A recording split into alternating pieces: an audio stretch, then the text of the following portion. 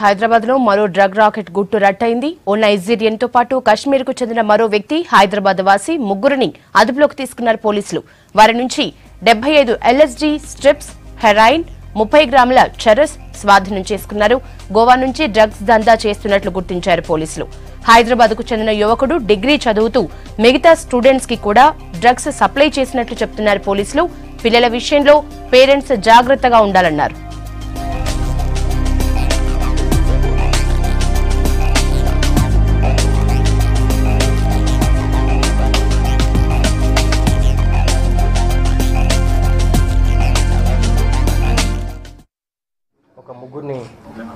కస్టడీలోకి తీసుకోవడం జరిగింది. దాంట్లో ఒక అతను యాష్ సుంకర అలియాస్ యాష్. పంతొమ్మిది సంవత్సరాలు ఉంటాయి ఇరవై సంవత్సరాల వరకు పిల్లోనికి.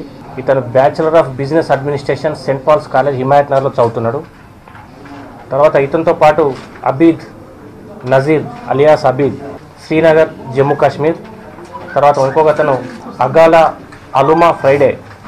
ఇతను నైజీరియన్. రెండు వేల పదమూడులో ఇండియాకి రావడం జరిగింది. అప్పటి నుంచి కూడా ఓవర్ స్టేలో ఇక్కడే ఉండిపోయాడు. మళ్ళీ రిటర్న్ పోలేదు ఇతను.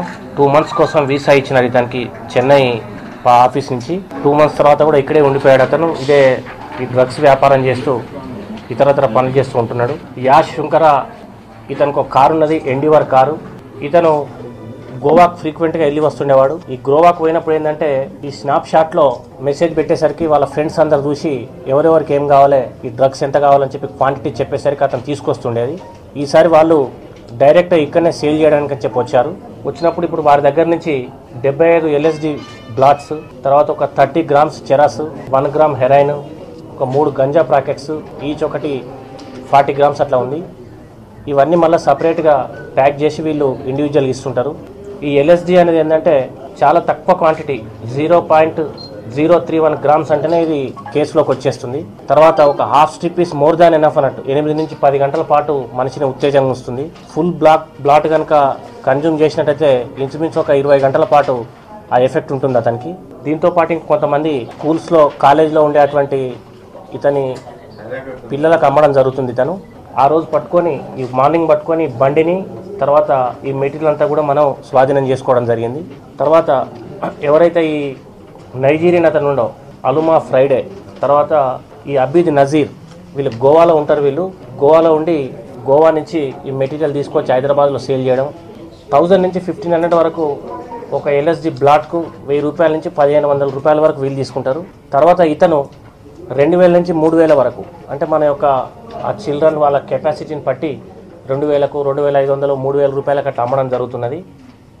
ఇది ఇంచుమించు ఇప్పుడు మనం సీజ్ చేసిన డ్రగ్ మొత్తం కూడా ఒక three and half four lakhs worth ఉంటుంది మనకి ఇప్పుడు దీంతో కొంత మట్టుకు ఈ నారాయణగూడ పరిధిలో ఆ చుట్టుపక్కల ప్రాంతాలలో ఈ యొక్క డ్రగ్స్ వాడే వాళ్ళను మనం కొద్దిగా కంట్రోల్ చేయగలిగినాము. తర్వాత ఏంటంటే ఇతని యొక్క ఫాదర్ ఒక బిజినెస్ మ్యాన్ ఎవరు? మన ఈ యాష్ సుంకర ఇట్లా విచ్చలవిడిగా పెద్ద వెహికల్స్ ఇవ్వడము. తర్వాత పిల్లలు ఇంటి నుంచి పోయిన తర్వాత మరి కాలేజీకి పోతుండ్రా స్కూల్కి పోతుండ్రా ఎటు పోతుండ్రని తెలుసుకోకపోవడం డబ్బులు ఇచ్చేసేయడం డబ్బులు అని చెప్పి దాంతో ఇవన్నీ దురలవాట్లకు యువత అంతా అలవాటు పడిపోతున్నారు. ఎందుకంటే వాళ్ళందరినీ కూడా సక్రమమైన మార్గంలో పెట్టుకునేటువంటి బాధ్యత తల్లిదండ్రులకు ఉంటుంది. ఈ తల్లిదండ్రులు ఏదో చదువుకుంటున్నారు కాలేజీకి పోతున్నారు అని చెప్పి ఈజీగా తీసుకుంటున్నారు. మరి కాలేజీ పోయి ఏం చేస్తున్నారు వీళ్ళు? ఇంటికి ఎప్పుడు వస్తున్నారు? వీళ్ళ యొక్క కార్యకలాపాలు ఏంటి? వీళ్ళ యొక్క బ్యాక్గ్రౌండ్ ఏం చేస్తాను అనేది వీళ్ళ యొక్క తెలుసుకుంటలేరు వాళ్ళు ఎవరు కూడా. కాలేజీకి పోతున్నాడు వస్తున్నాడు. ఎందుకంటే ప్రతి తల్లిదండ్రులు కూడా తన కొడుకు మంచోడని చెప్పి అనుకుంటారు. దురలవాట్లేని లేవని అనుకుంటారు. కాబట్టి ఈ యువత ఈ పెడదారిన పట్టకుండా ఉండాలంటే తల్లిదండ్రుల యొక్క బాధ్యతనే డెబ్బై ఐదు శాతం ఉంటుంది. ఇరవై ఐదు శాతం యూత్ కూడా వాళ్ళు చదువుకొని వాళ్ళకి ఎంత ఇరవై సంవత్సరాలు ఇప్పుడు ఇతనికి నైన్టీన్ ఇయర్స్ ఇప్పుడు ఈ డ్రగ్స్ ఇతను అమ్మేటోళ్ళు కూడా ఇంచుమించు గదే ఇరవై ఇరవై ఒక్క సంవత్సరాల వయసు వాళ్ళే ఉన్నారు. వాళ్ళందరినీ కూడా పిలిచి కౌన్సిలింగ్ చేసి పంపించడం జరుగుతుంది. ఈ యూత్ ఇటువంటి దానికి పోకుండా ఎందుకంటే వాళ్ళకి ఇంకా భవిష్యత్తు చాలా ఉంటుంది.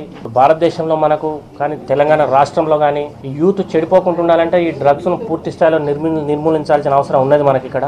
ఇంకా కూడా ఎఫర్ట్ చేస్తాం మేము. మా టీం వాళ్ళు చాలా కష్టపడి శ్రీనివాసరావు ఇన్స్పెక్టర్ తర్వాత తిమ్మప్ప సబ్ ఇన్స్పెక్టర్ కాంతారెడ్డి వారి యొక్క సిబ్బంది అందరూ కూడా చాలా నిఘా పెట్టి వీళ్ళని పట్టుకోవడం జరిగింది. వీళ్ళను ఫర్దర్ ఇన్వెస్టిగేషన్ కోసం నారాయణగూడ పోలీస్ స్టేషన్ ఇన్స్పెక్టర్ గారికి ఈ మెటీరియల్తో పాటు హ్యాండ్ ఓవర్ చేయడం జరుగుతుంది.